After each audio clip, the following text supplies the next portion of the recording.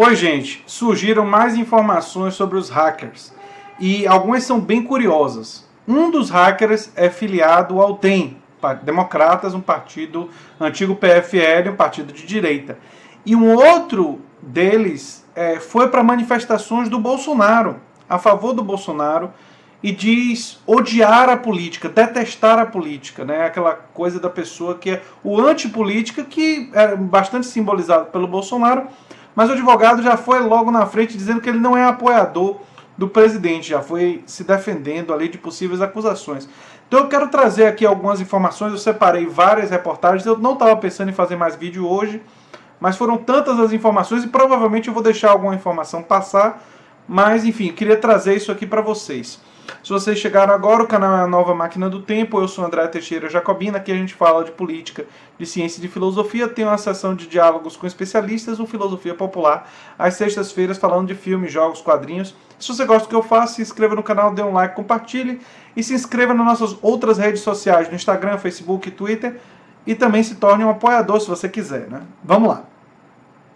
Um dos presos pela Polícia Federal nesta terça sob suspeita de ter hackeado celulares é, como o celular do ministro Sérgio Moro, o DJ Gustavo Henrique Elias Santos disse ao seu advogado que um amigo também preso mostrou a ele mensagens de autoridades obtidas ilicitamente. E o que interessa é o seguinte: questionado se seu cliente tem alguma vinculação ou simpatia partidária, Ariovaldo respondeu: ele, Santos, o preso, me disse: Rapaz, eu detesto isso. O advogado disse que seu cliente já foi a uma passeata de Bolsonaro e a filmou com um drone mas afirmou que ele não é apoiador do presidente. Estranho, né? Porque se ele não é apoiador, por que, que ele foi lá e filmou com um drone?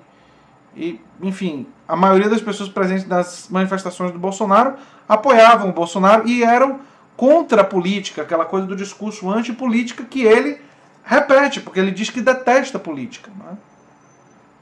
A Folha apurou que a Polícia Federal chegou aos suspeitos por meio de uma perícia criminal federal que conseguiu rastrear os sinais de ataque aos telefones.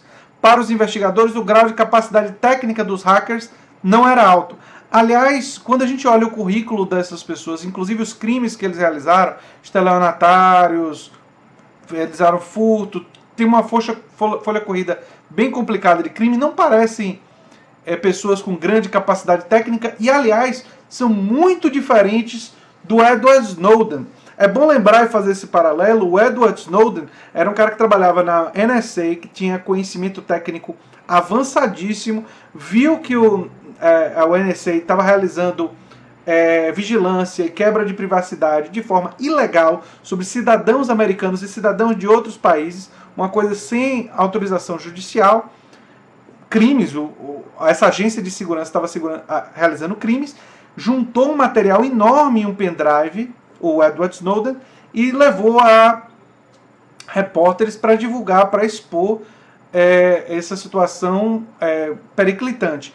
Esse grupo aqui são pessoas, é, pequenos criminosos, quer dizer, pequenos assim, de, em termos de capacidade técnica, não tem grande capacidade técnica, estelionatários. Eu vou pegar, falar de uma reportagem, o que, é que a Polícia Federal acha que eles estavam tentando fazer.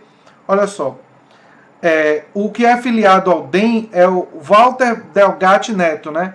Ele é investigado por vários crimes de estelionato, foi detido em 2015 com uma carteira falsa de delegado de polícia.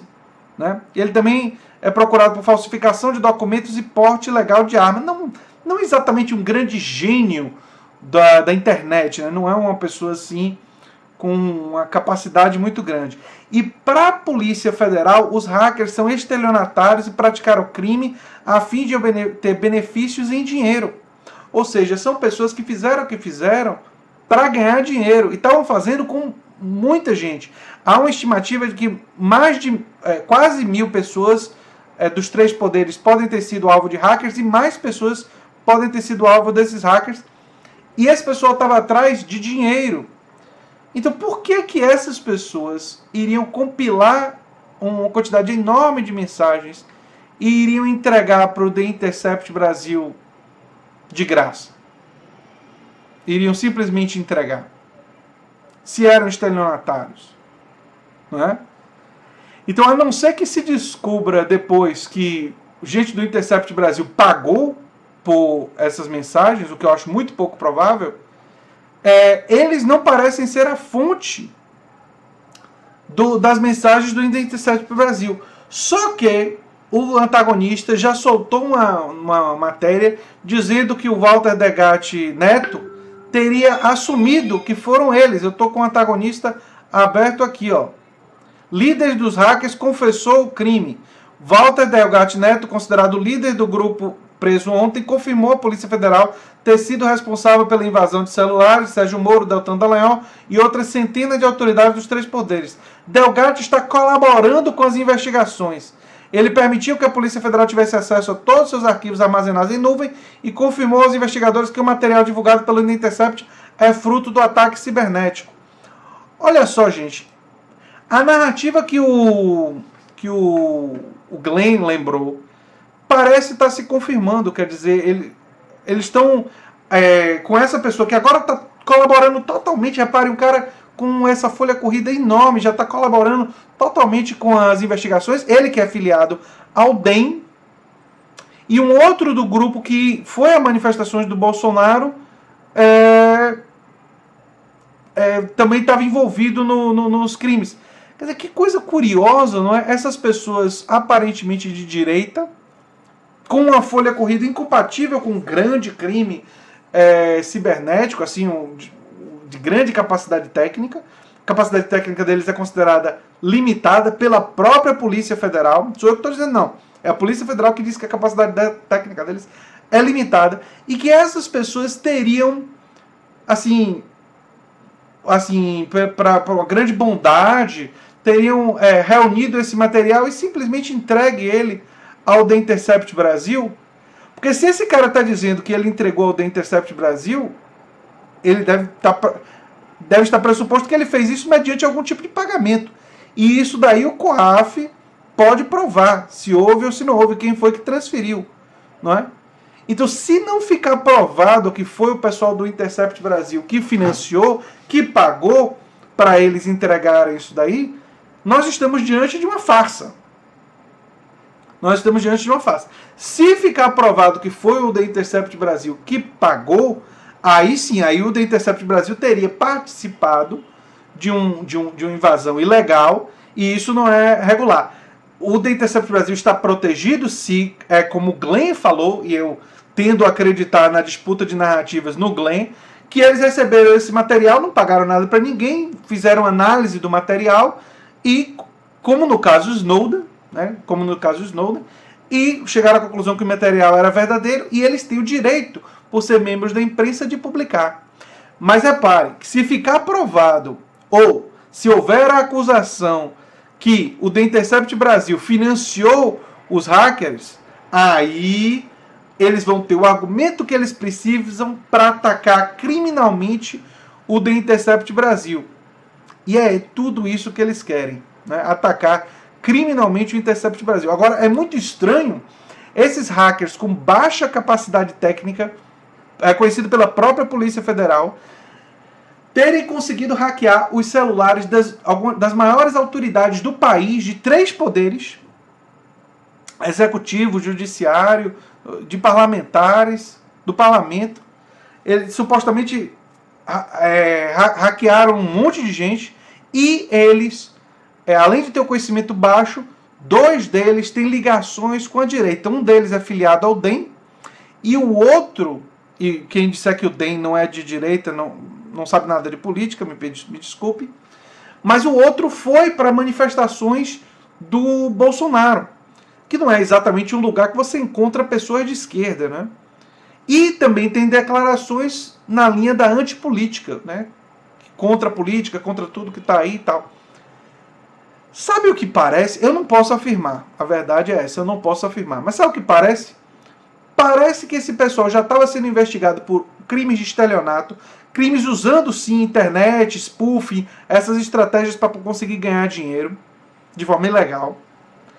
E o pessoal da, da, da Polícia Federal ou, ou, o pessoal da Lava Jato viu uma oportunidade de prender esses caras que estavam fazendo essa atividade ilegal para poder ganhar dinheiro e ofereceu para eles o seguinte: olha, se vocês disserem que vocês são a fonte do Intercept e vocês jogarem o Glenn Greenwald debaixo da ponte, debaixo do ônibus, é, a gente.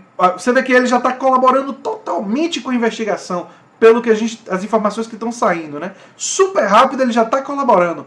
Ou seja, leva a suspeita de que eles talvez tenham sido contactados até antes. E aí, essa colaboração iria permitir uma pena muito mais leve para esses é, criminosos. Porque eles realizaram vários outros crimes. Vários outros crimes. Porte ilegal de arma, é, estelionato, falsidade ideológica. São pessoas com ficha corrida. Não, são pessoas muito diferentes, eu repito isso, muito diferentes de um cara como Edward Snowden. São pessoas muito diferentes dele. E é, parece, não dá para ter certeza, mas parece que eles fizeram um acordo com a Polícia Federal, fizeram um acordo com essas figuras para ter uma pena mais leve. Porque eles iriam ser presos por essa enxurrada de outros crimes e é, iriam, portanto, é, ter uma pena pesadíssima. E provavelmente os promotores, na hora da negociação da, vamos chamar, brincando, delação premiada, não é? que eles vão fazer contra o, Glenn, ofereceram algum tipo de vantagem para eles estarem colaborando tanto com as investigações, né? Então não parece que vai demorar muito, essas investigações vão chegar no Glenn. Agora, se isso daí é uma farsa ou se é real, a verdade é que a gente ainda não sabe, porque a gente não tem como é, ter total crença nas nossas autoridades. Nós chegamos num ponto no Brasil que a gente tem dúvidas. Eu não estou querendo dizer que eu tenho certeza, não vou falar mal das autoridades a princípio, mas eu tenho dúvidas. Tudo que aconteceu até agora me faz não ter certeza sobre as autoridades e sobre o que, é que elas vão dizer em relação ao caso. Isso, essa é uma situação muito, muito complicada, gente. Da gente ficar nessa situação que a gente não tem certeza se a gente vai poder confiar no que as autoridades vão dizer muito, muito difícil. Eu aqui não vou afirmar de um lado ou de outro, porque eu preciso ver evidências contundentes. Eu tenho essa prática como cientista, como pessoa, é como eu levo minha vida, mas eu adianto que provavelmente o que vai ser mostrado para a gente vai deixar a gente na dúvida. A gente vai ficar com essa situação, provavelmente, a, não ser que haja esclarecimentos mais à frente, né? Vamos ver. Enfim, se você gosta do que eu faço aqui no canal, se inscreva, dê um like, compartilhe e pense em se tornar um apoiador que vai ajudar bastante a gente. Um abração e até o próximo vídeo. Tchau, tchau.